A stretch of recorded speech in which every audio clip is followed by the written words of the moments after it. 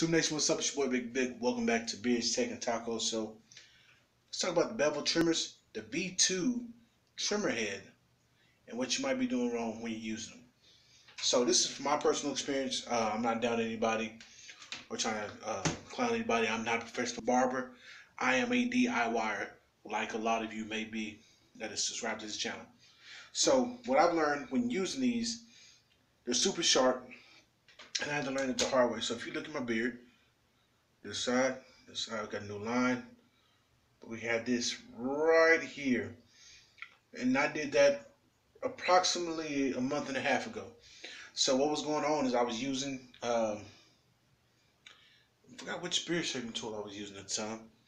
But I was using one of my beard shaping tools and I was using these trimmers, uh, the trimming head like the B1s, which Stop Cutting Good. Thanks. I'm um, shout out to Tristan Walker this company for the new design. But it started doing like this wavy cut where it wasn't cutting clean across.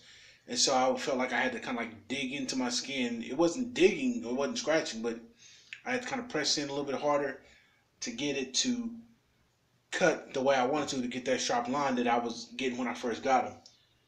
Don't do that with these, okay? Uh, this actually requires a very, very soft touch and uh, to demonstrate when you're using these it's like a lawnmower okay? Your forearm is like the lever on the lawnmower that controls high high or low it cuts. And if you're like er, er, like that or you're pressing in like that you're doing too much. All right you want to right above the skin you see? Just barely just barely making contact with the skin and they will cut. Okay, don't don't fret. You're probably like, oh man, I don't know. No, these are hitters. I got a video. I'll tag that video. I'll put a card up. Uh, put a link in the description. You'll catch at the end of this video. But these are some hitters. All right. That is from this line. This one I had the line going straight across. That's what that's from. Now this curve is because of this tool which I'll tag in the card as well. This monstrous tool, my number one tool right now until the Cut Buddy 2 drops. This is the number one tool I have in my stash. I'm gonna do a video on my top five tools that I have in my possession. But I use this curve right here.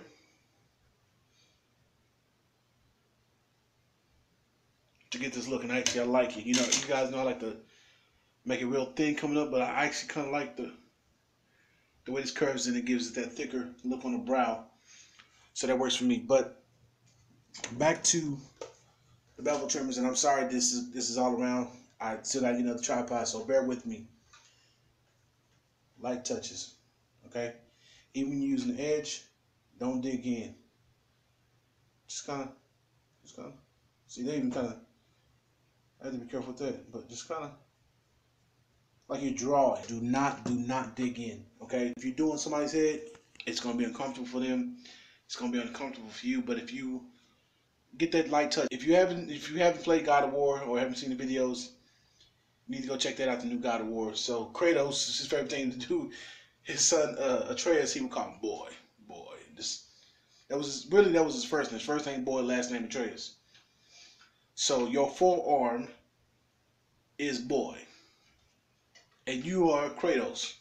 So you say, boy, what you would not do is destroy my beard line by going too low or too hard.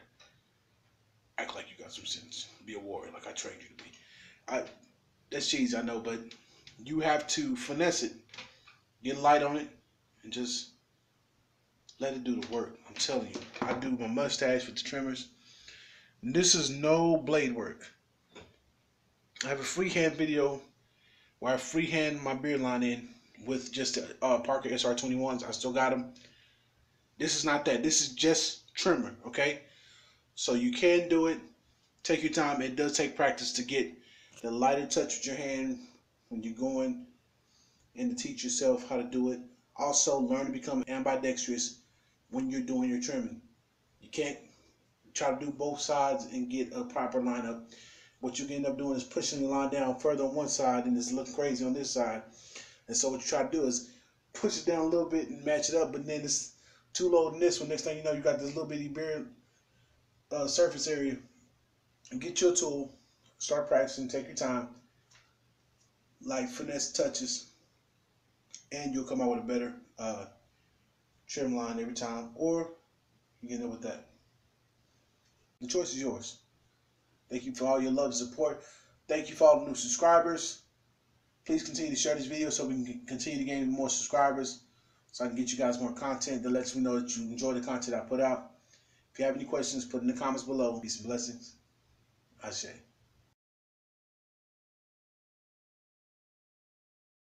Tube Nation, what's up? Listen up. Boy, Farm, I am in control of you.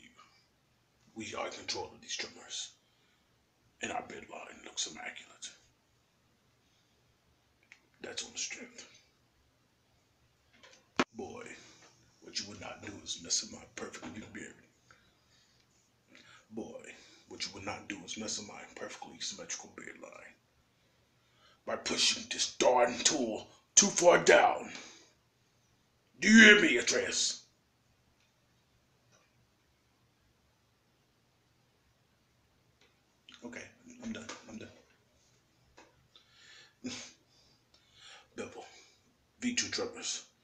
we have been at war.